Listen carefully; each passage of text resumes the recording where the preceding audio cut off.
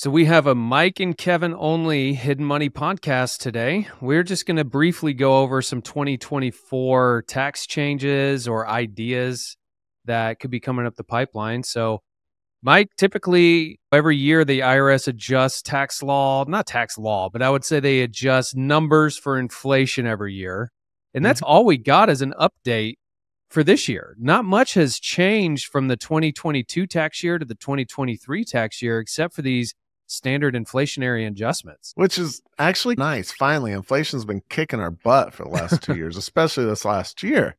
And uh, now we finally get a little benefit of that because of inflation. They're increasing the tax brackets. So it doesn't help with actual making money, but it reduces our tax burden thanks to inflation just a little bit. So I'll take it. I would too. Even the tax planning lies a lot in the fact that if you have two deductions, you have the itemized deduction and the standard deduction. They're going to increase the standard deduction each year with inflation. So if you're itemizing, but you're right on the cusp of itemizing versus standard, these inflation adjustments, although they're good, they may push you out of the using itemized deductions, which makes all your charitable giving, your property tax, mortgage interest providing zero tax benefit because now you're taking the standard. So now the question is with these inflation adjustments, where am I sitting at with my tax plan? And do I need to make some moves before end of year or change my strategy with these increasing inflation numbers? Yeah, and that brings up a great point if you're one of those people where you can't itemize anymore, you shouldn't because your standard deduction is greater than what your itemized were. You should think about bunching in years that it makes the most sense. So if I give charitable contributions as an itemized deduction, if I give charitable contributions to my church or a nonprofit in December and then turn around and give some more in January, I've straddled two tax years. If I know I want to itemize this year, but next year I probably want to use a standard. I should give next year's charitable contributions to the charity this year and bunch them together. You can do the same thing with property taxes, although with that 10,000 cap, it makes it less likely that'll pay off. But yeah, you should consider such things like that in light of the new index inflated amounts. I think it's funny though. They're increasing and indexing these inflation adjustments based on five and a quarter percent inflation. The government says we've only experienced five and a quarter percent inflation. I've looked at the buckets. I see how the Bureau of Labor Statistics decides that. And it seems fishy to me because I know I'm spending more than five and a quarter, more than five and a half percent more this year on the exact same stuff that I spent last year. But sorry, I digress, Kevin. Back to tax. No, that deals with tax because the standard deduction increased 5.5% from last tax year. Inflation, Mike and I are under the opinion go to the grocery store, go to the pump. Inflation's a lot more than 5%.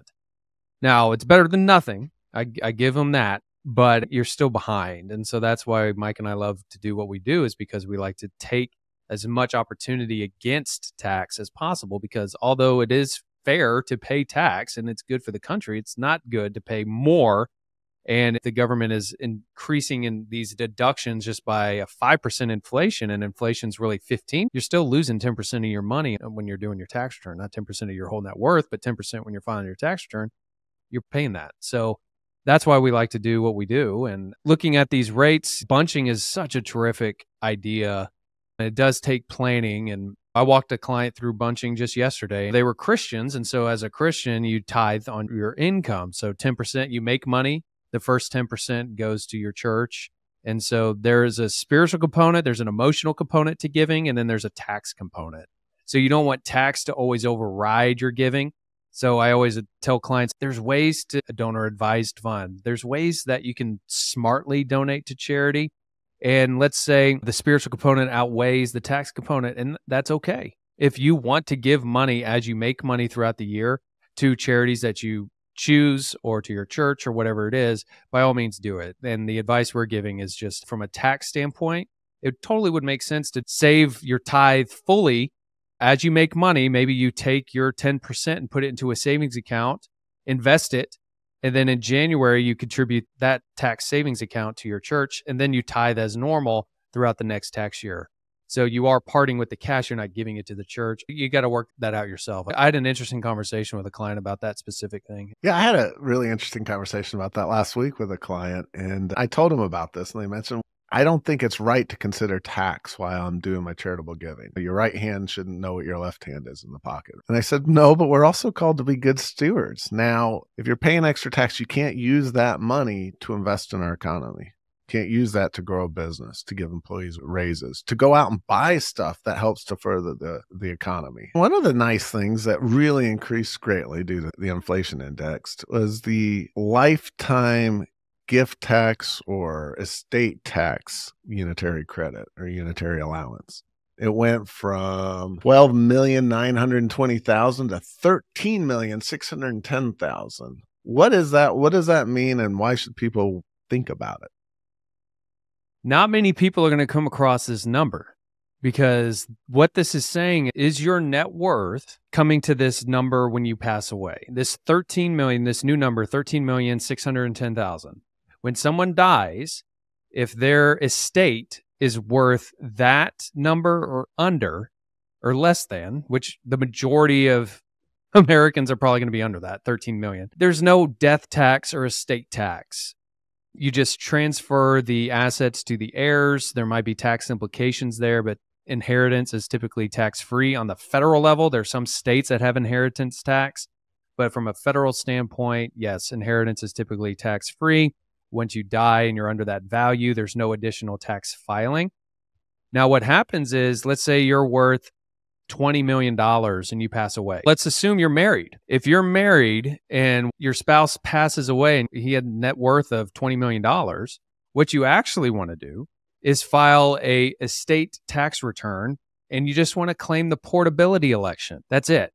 You're not going to report, there's no tax implication, but you're going to basically have that spouse's exclusion, that 13 million 610 if he died in 2024, that exclusion's then going to pass to the wife. And so if tax law changes and the exclusion number goes down to back to 5 million, you've ported that exemption over to the spouse so you can probably save a lot on estate tax. Because what happens is if you die and you have a net worth over this exclusion amount, you have to file a 706 tax return. It's an estate tax return tax rates could be up to 40%, and they get to 40% real quick. So the tax implications of this are really heavy. And so estate tax planning, if you're high net worth, estate planning is a huge thing. And gifting is a part of this, which they raised the gifting limit from 17,000 to $18,000. So there's a lot of strategy. Sharing a high level kind of the strategy of gifting over the years to your children, to your grandchildren, to anybody. You can gift any taxpayer up to $18,000 a year and not file a tax return. How does that play into the estate tax? That doesn't play into the estate tax. It reduces your estate value as well. You get an annual gift allowance that anyone can give anyone else. The now $18,000 per year. And let's say you do that for 10 years in a row, 180,000. And then you die. Your estate's worth less by $180,000 plus earnings. So it's a great plan. And there's even cooler ways of doing that. I don't want to get too detailed on this, but like a family limited partnership. Let's say I've got this business or I've got a farm. I'm getting up there in age, but I have this farm and I want to leave it to my three kids. If I die right now, it could be worth 20 million because it's a generational farm. We don't make any money, but our land is worth a ton. And if we just follow the, the tax law and that's it, and we don't do any kind of tax planning, when I die, the family doesn't keep to get the farm. They have to sell it off to pay the taxes. So what you could do is you put your farm in a family limited partnership and you still stay the general partner. You stay in control of it, but you start gifting the interest using the annual gift tax exclusion, $18,000 to each kid each year and start gifting it away. You stay in control of it until you die, but anything that was gifted whatever that value is, isn't included in your state when you die. So if you do this right in a family limited partnership with a farm, hopefully your family gets to keep the farm after you die and you don't have to sell it off to pay taxes. You get some really cool things in FLPs like minority interest discount, marketability discount. So I mean, you could actually give maybe land worth twenty eight, thirty thousand dollars applying those discounts and get it down to the $18,000 limit. But you got to work with a good estate planner. You got to work with a good tax person. And if it's big estates like that, you got to get a valuation expert to come and prove that you're staying under the legal tax limit each year. I see this articles come out in the Wall Street Journal, usually once or twice a year. What should I be doing for tax planning? It just depends. If there's not a lot of tax law change, it's almost the exact same article year after year. a lot of people a lot of different publishers publish the same advice. But for someone coming on and wondering, what should I be doing for tax planning this year in 2024? The number one thing I would say, and I say every single year, and it's still very applicable be proactive. Don't be a victim of the tax code. Leverage the tax code for your own benefit. Be proactive, strategize, know what your taxes are going to look like at the beginning of the year. If nothing changes, if everything comes out like you're planning, you get your W 2 job all year long, business performs according to your projections, whatever. Know what your tax is going to be at the end of the year, which you're going to owe next April 15th, and work backwards from that. Okay, so nothing changes. I owe this $50,000 in tax. Then start thinking about things that you want to do. What makes sense for your own personal financial planning? What makes sense for your lifestyle and your goals? Work with a financial advisor if you have one. Help figure those kind of things out and continue to work backwards. If you need to invest, but you know you're going to pay too much in tax, maybe you can get a tax advantaged investment where you get a much higher ROI, or the government actually helps you get into that investment and subsidizes your initial purchase of that investment just be proactive. You want to know what to do for tax planning this year or any other year? Start being proactive. Strategize. Don't put your head in the sand. Be aware and start thinking about it. You don't have to become a tax expert. You just have to know where you're going and work with some experts if you don't want to become your own. Yeah. And we do this all the time. To give a specific example, I had a consultation with a client just yesterday. It's a family owned resale shop and they have four children one's going to college and the three are other in private school because they said that the school district of where they live is just so poor that they have to float private school. So they live honestly paycheck to paycheck because their education expense they have a child going to college and they have three in private school. So ideas that we think of is just hey are your children of working age? All four of them were and all four of them worked for the resale shop. So we're paying each child out of the business getting a tax deduction for it. We're putting it into a education savings account, an ESA. ESAs grow tax free so long as you use it for education expenses, and you're now allowed to use ESAs for private school tuition. So now instead of paying the schools out of the parents' checking account, we're getting a tax deduction out of the business, putting that into a tax advantageous checking account they're going to pay the tuition every month out of this ESA that's growing tax free. And so nothing changed in their financial footprint. They didn't have to go get borrow money. They didn't have to go do anything. We just found ways to move money from the business to fit their personal life. And there's many other ways. They're going to have monthly meetings at their house now because they have lawn care, they have uh, maid service, they have all these services at home. They're like, "Can we do anything with tax deductions?" I'm like, do you ever have clients or any employee meetings at the house? And they said, Yeah, we do once a month. And I was like, How often do the cleaners come? Once a month. I'm like, How mm. convenient. Your cleaners come once a month, your lawn care company comes once a month, and you have a monthly meeting at your house. Let's run that through the business because you have employees coming to your house for meetings. Take good minutes, show good details of why it's a business expense, and then let's start getting more tax deductions for stuff you're already expensing. Then, on top of that, they're husband and wife owning this resale shop. They're both 50 50 owners and they take vacations every year. As a husband and wife, as shareholders of this company, I think it's very reasonable that two of the owners get away from the four children and hustle bustle of private school and school events and activities to get out of town and focus on the business.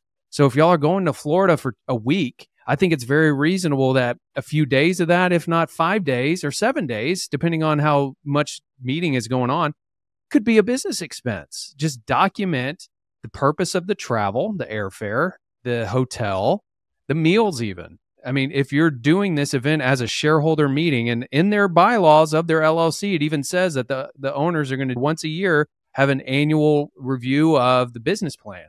Let's just do it out of state and go do it poolside. Be creative with it, but also be legit about it maybe not all of that is going to be tax deductible. We have to be reasonable. If you're there seven days, but three of the days you're really hammering the business, plan for the next year, whatever it is, then three sevenths of your vacation could be run through the business. So it's just finding small stuff like this that we do every single day and you're not changing anything from a functional standpoint of your business. We're just harvesting tax deductions that are already there. You just need to know about them. And those tax deductions exist because everyone agrees and understands. I would say most majority of people agree and understand. In order for a business to make money, in order for a business to be able to pay its employees, in order for a business to be able to pay taxes, it has to invest in the business. There are ordinary and necessary and reasonable expenses it has to pay. IRS recognizes that. Congress recognizes that. And they give you the ability to deduct these ordinary, necessary, customary, reasonable expenses. But a lot of people don't think about it. They're like, if I didn't have a business, I'd have to pay for this stuff out of pocket after tax. But if you do have a business and whatever you're spending money on is helping that business, it may very well be, it's probably deductible within reason.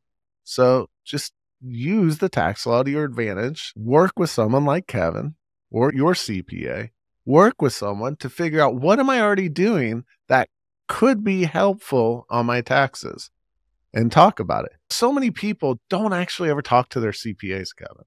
I find this f- fantastic. people, they don't know their CPAs. Their CPAs don't know them. They send their documents once a year, they answer some questionnaires.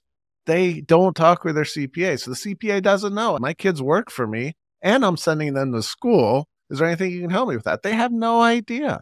So it's important to communicate and actively, proactively work with a planner, work with an expert to mitigate your taxes. You shouldn't pay what you don't legally have to pay. That's what I'm saying.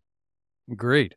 Agreed. And so many times we see it when prepping a tax return for a new client because earlier in the video we were talking about 2024 updates. That's for income earned in 2024 on the 2025 tax return. So for 2023, we already know the rates, we already know the standard deduction and all this stuff. So what pains us is we get a new client for the 2023 tax year and they come to us in March or April saying, "Hey, I heard you guys, I want you to prep my return." And they think we have this magic wand. We don't. We don't have a magic wand when 1231 hits. When that ball drops, our magic wand expires for that tax year on very few occasions, you could do a SEP or you could do some deferred cash tax planning after the calendar year ends and have it account for that prior tax year.